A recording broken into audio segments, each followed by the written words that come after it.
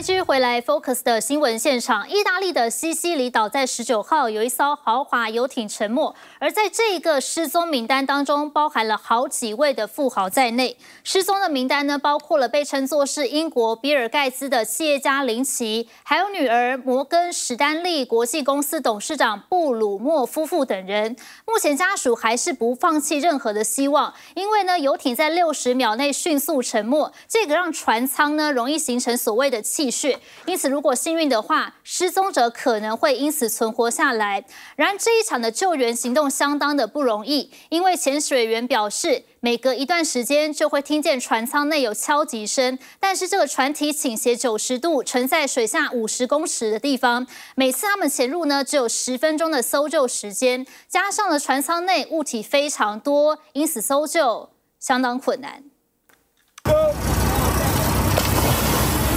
在意大利西西里岛西北部的巴勒摩港口，潜水员全副武装跳入海中，朝位于水下五十公尺的一艘沉没游艇前进，寻找失踪者的下落。Le difficoltà del caso sono dettate dalla profondità che non consente tempi di lavoro elevati,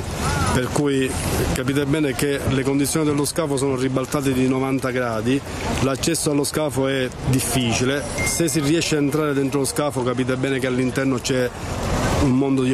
当局每天派出十九名潜水员三人一组轮流下潜首要任务是在船尾区打开一条通道。他们正试图打破甲板休息区的玻璃窗才能进入这艘五十六公尺长的游艇内部。而且每次成功进入后只有十分钟的搜救时间困难度非常高。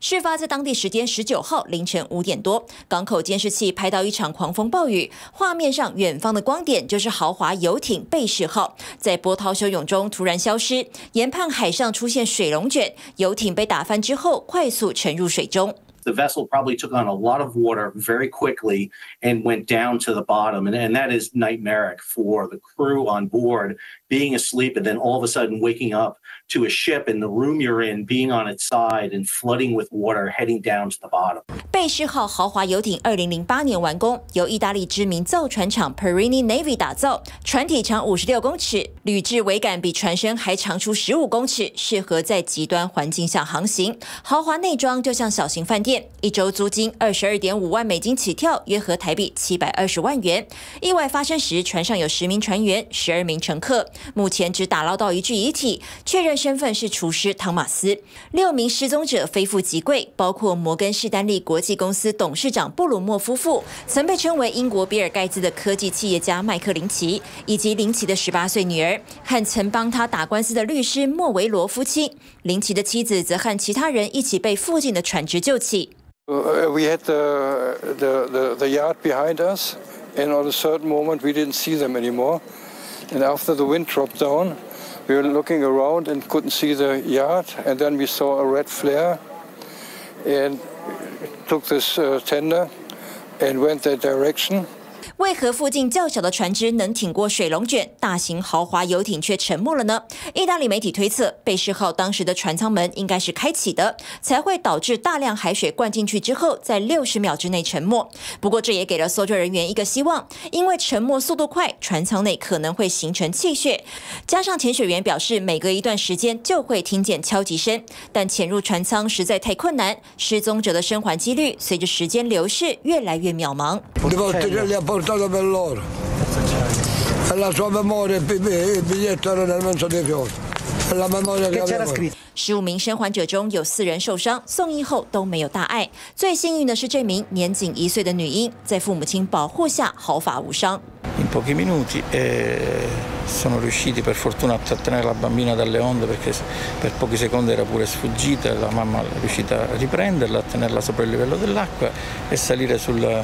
sul gommone di sicurezza che per fortuna era già pronto lì accanto, era stato lanciato pochi minuti prima. 在经历过几周的高温酷暑，意大利北部地区近期开始出现暴雨。气象专家表示，温暖海水遇上雷雨云，气流交互下容易形成水龙卷，而且何时发生、在哪里发生，几乎无法预测。While we tend to think of the Mediterranean as you know kind of flat and glassy and a beautiful kind of enclosed sea. it can be very rough and it is susceptible to storms like we saw took place. 学者认为，气候暖化是这次导致豪华游艇沉没的间接原因。由于海水升温、极端气候带来的强降雨天气，让水龙卷更加频繁。游艇管理公司表示，目前判定游艇在水龙卷来袭时是处于抛锚状态。意大利检察机关已经启动调查。由于游艇悬挂的是英国旗，英国海事事故调查处也派出调查员与意大利搜救团队合作，评估意外发生的各项细节。TVBS 新闻综合报道。